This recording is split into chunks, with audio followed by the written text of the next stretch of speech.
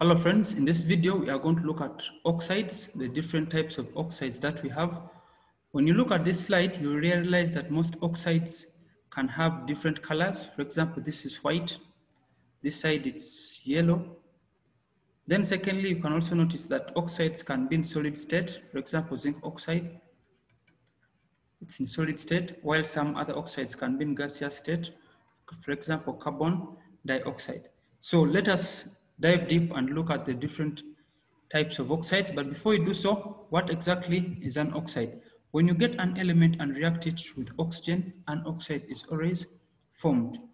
For example, if you have an element of magnesium and react it with oxygen to form magnesium oxide, our magnesium oxide will be our oxide. So magnesium oxide in this case will be the oxide. So what exactly is an oxide? It will be a compound that contains two elements in which oxygen is one of them. So here we have magnesium and then oxygen.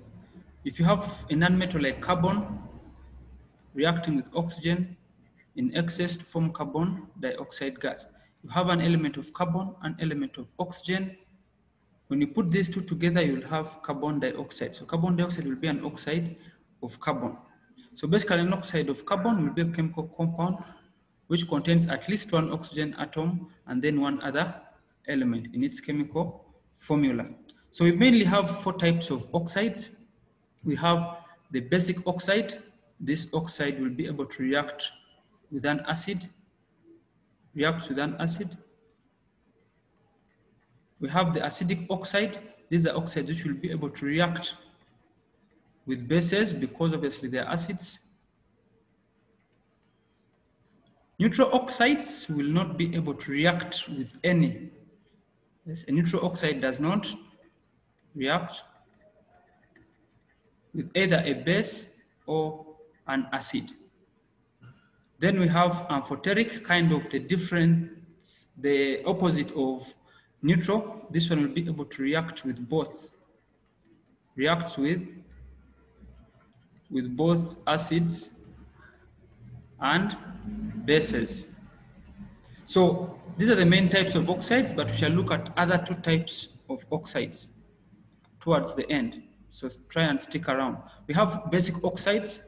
These are oxides which when dissolved in water will always form basic solutions. That is to say they will form bases. That's why we shall call them basic because they will tend to form bases. Some common examples of basic oxides, we have magnesium oxide, sodium oxide, calcium oxide. So basically you will note that usually most basic oxides will be metallic oxides. Oxides of metals, metallic oxides. So when you get a metal and react it with oxygen to form an oxide, you will end up forming a basic oxide with some exception of some few. For example, the word equation, basic oxide, when dissolved in water shall form an alkali, which is basically a base.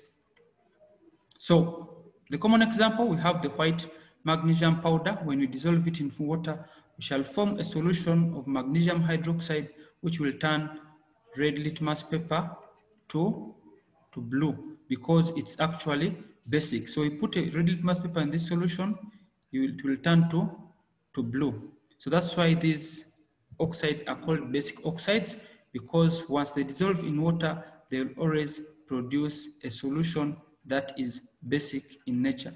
For example, sodium hydroxide is basic and it will have a pH that is greater than seven.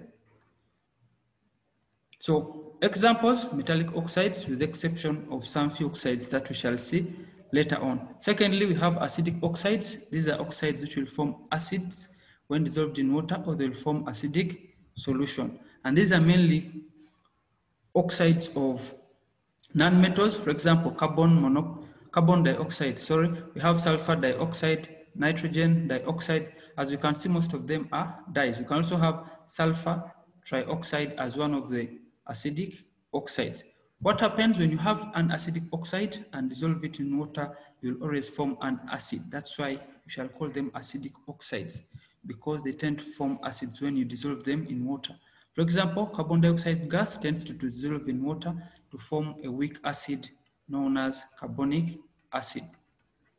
So this is common with acidic rain when carbon dioxide dissolves in water. So most gases that are that are having two oxygen atoms, they'll tend to produce acidic oxides.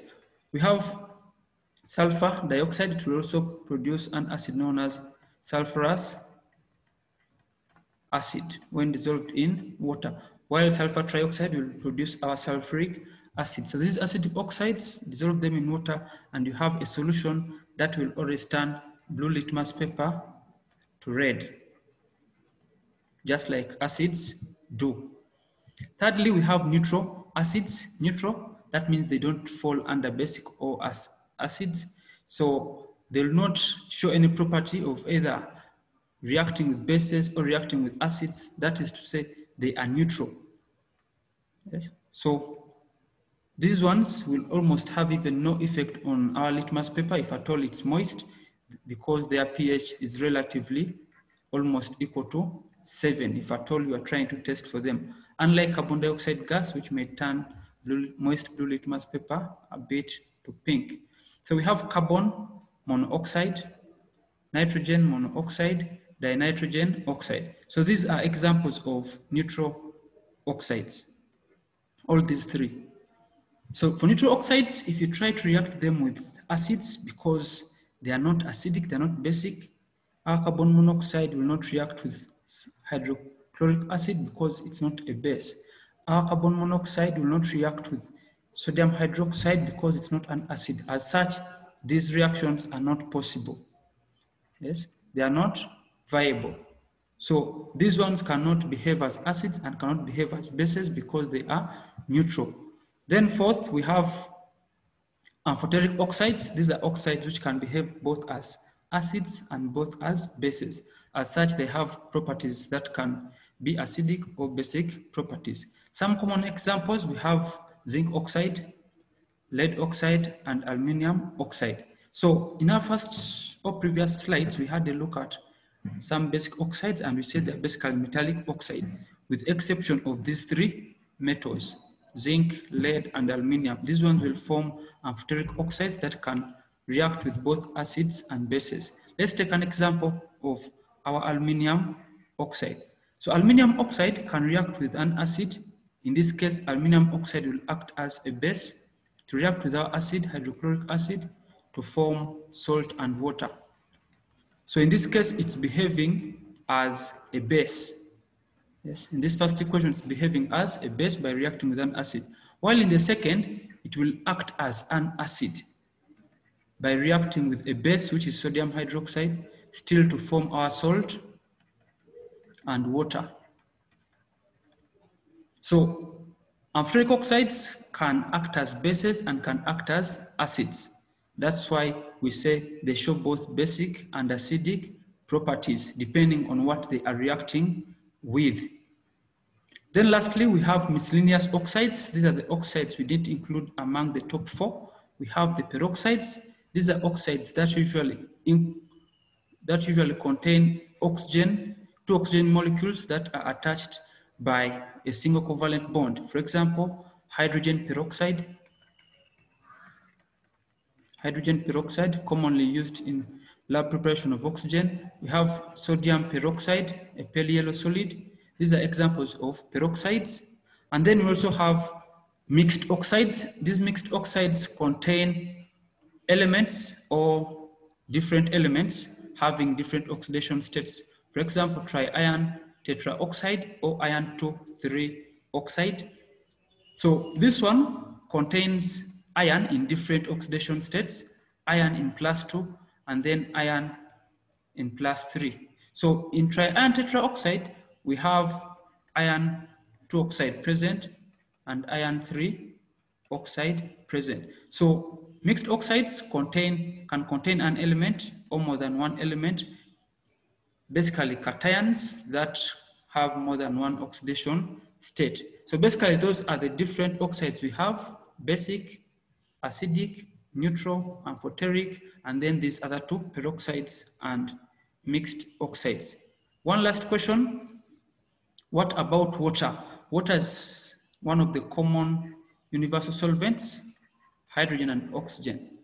Two elements, oxygen is part of it. So this is also an oxide, sometimes known as dihydrogen oxide. So before you drink it at home, try to let me know in the comment section below, where does water fall? Is it acidic? Is it basic, neutral, amphoteric? Is it a peroxide or a mixed oxide? Yes, thank you for watching. Let's meet again. See you next time.